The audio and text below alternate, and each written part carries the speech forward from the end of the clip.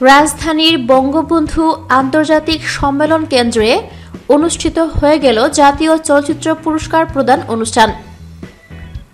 দু সালের চলচ্চিত্রে সেরাদের হাতে পুরস্কার তুলে দিয়েছেন প্রধানমন্ত্রী শেখ হাসিনা।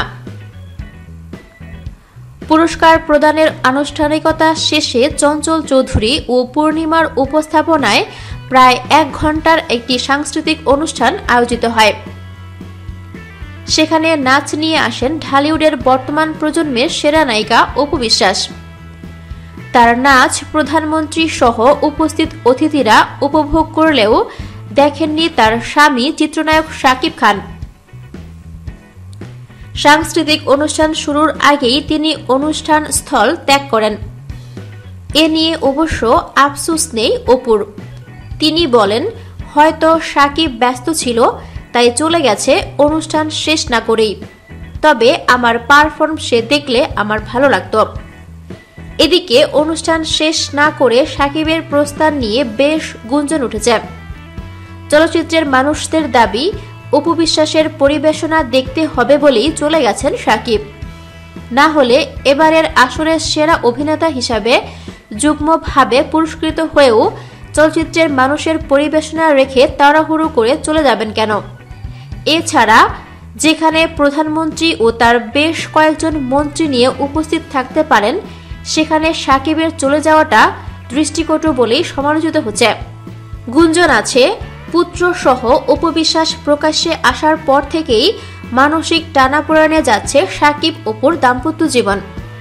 দুজনের মধ্যে গেল কয়েক মাসে চোখে দেখা হয়নি। তাই আজ একই অনুষ্ঠানে উপস্থিত থাকায় দুজনের দেখা হবার দৃশ্যটি দেখার অপেক্ষায় ছিলেন চলচ্চিত্রের মানুষরা। কিন্তু সেই অপেক্ষায় ঘুরে বালি। অপুর সঙ্গে দেখা হলো না সাকিবের।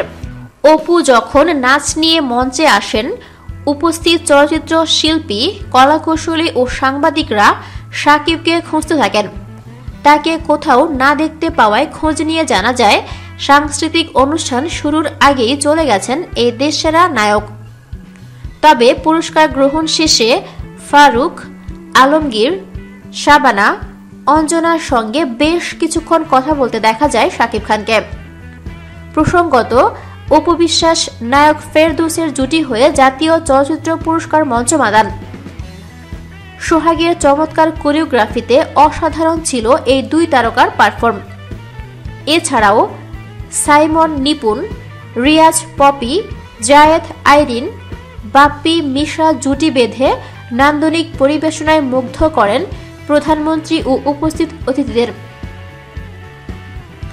এবারে অনুষ্ঠিত হয়ে গেল জাতীয় চলচ্চিত্র পুরস্কার প্রদানের চল্লিশতম আসর।